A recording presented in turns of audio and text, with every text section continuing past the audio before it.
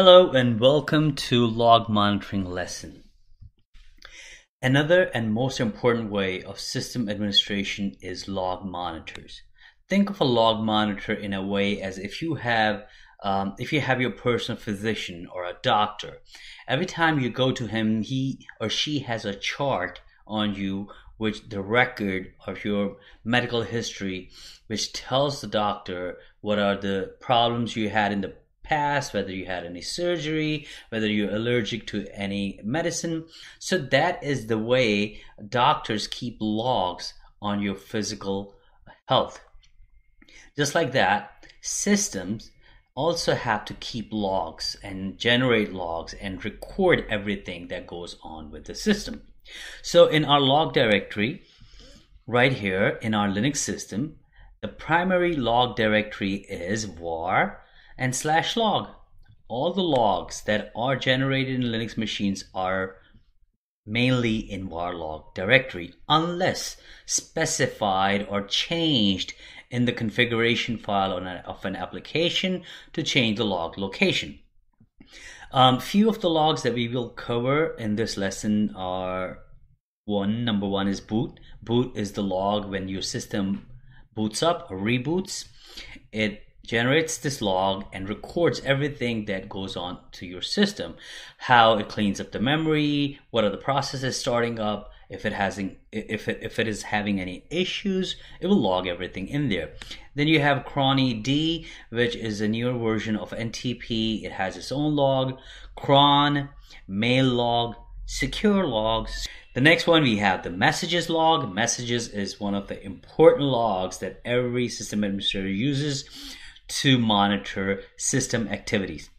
Everything that is a, hardware wise, application wise, or process wise, anything that has to do with the systems or even application wise, it goes into var log messages. Then at the last one, we have HTTPD, which is also an Apache application log. So without further ado, I will log into my Linux machine. Uh, I log in as myself. I already have an IP that I've specified. Um, so once I log in, I will go into var slash log directory. When I am in slash log directory, I could run ls minus l command or simply run ll and view all the logs. And once again when I run that it has so many logs so many files so many directories that I cannot view them all in one page. So I will do is ll pipe it to more. And you will see ll uh, will list all the files by alphabetical orders. Um, so the first one is audit. Audit is one of the files or directory that has all the audit information. Then we have boot.log let's look at boot.log when you do more on boot.log I get a message says permission denied. Why do I get that message? Because the boot.log is owned by root and the group who owns that file is also root. So am I root? Who am I? I'm not root Okay, so if I'm not root, do I have the permission to read the file? And as others, I should have read permission right here, right? Last three bits. Or if I'm part of the group, I should be, I should have access here. So neither group nor regular ordinary users has access to read a file.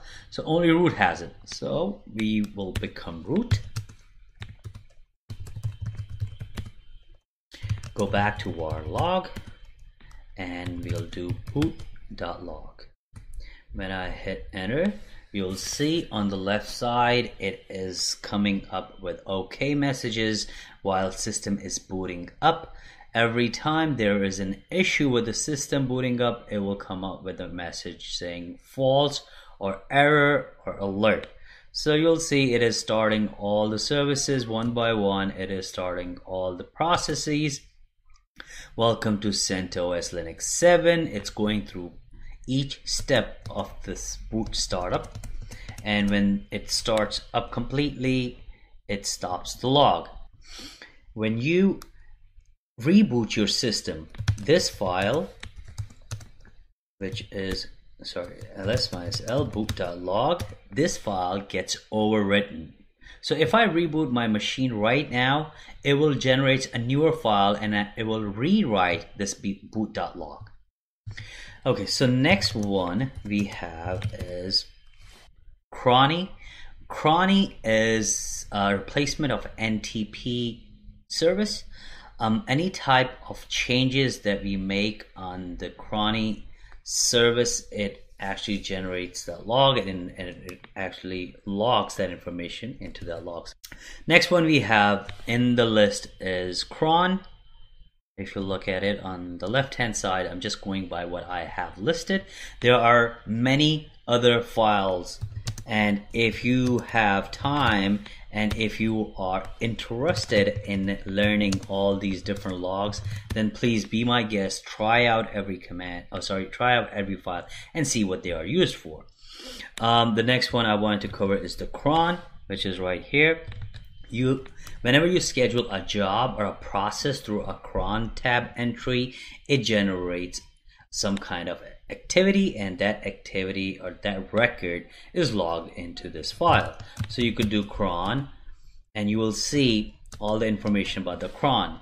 And by the way, whenever you open up a log file, the first is the month, second is the date, time, the name of your host name, the daemon, which is crond, and process ID associated with that daemon, the user who's running that, and the command or the entry that has been associated with that cron. Moving on, um, we have the next one. We have quickly, um, there is a command called dmesg. When you run this command, this one also gives you information about the hardware. If you do not want to run this command, you could simply do cat on dmessages as well, which will give you the exact same information. The next one we have is uh, mail log. Mail log has all the information about your sendmail daemon, which means every time you send an email out or every time an email comes in, all that activity is being recorded in this log. Um, whenever you are troubleshooting issues with sendmail service, this is one of the logs you would have to look into to see why you are why your server is not able to send emails. Moving on, then we have secure log right here. Now, secure logs is the log that actually um, records all your logging in, logging out activity.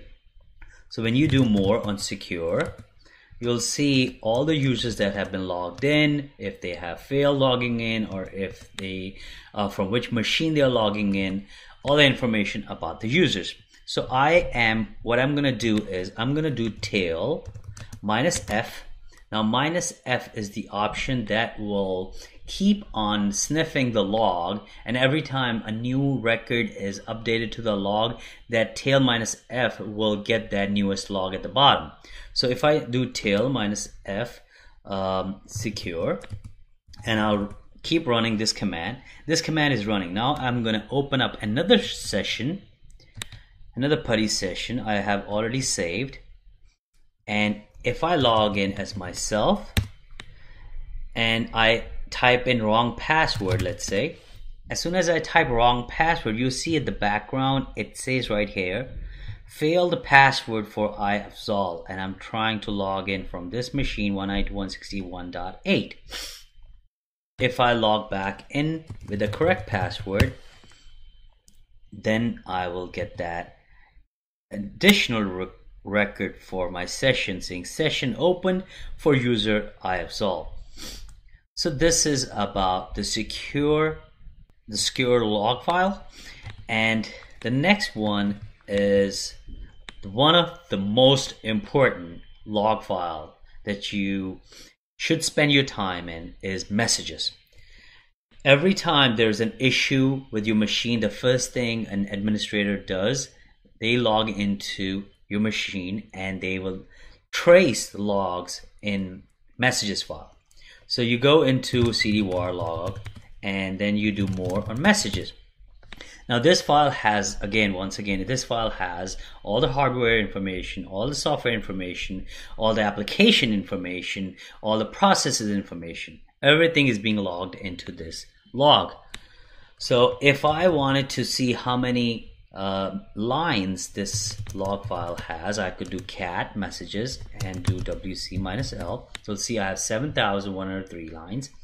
If I wanted to see if there are any error messages in this file, so I'll do grep minus i. i is to ignore um, uppercase, lowercase from messages file. And you will see it actually grepped every line inside of this log file that has a message called error. So this way you could go in and see what's going on with your system, what happened, why it failed, what time it failed.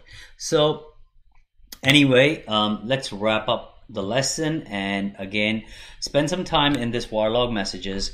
Um, go over all these um, log files, specifically the ones I have in this lesson, and see what type of different logs there are, view them, grep for certain errors, and get yourself familiar with them.